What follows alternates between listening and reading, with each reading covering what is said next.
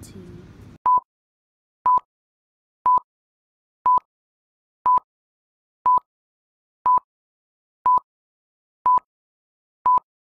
I don't really care if you leave, cause you ain't got no loyalty. So just go and leave LeBron's team. And we got Derrick Rose. to the final Finally, go. You are now So grab some popcorn and enjoy the finals show. You might as well follow your father's footsteps. Play in the ABA or be even be a cook like Bobby Flay.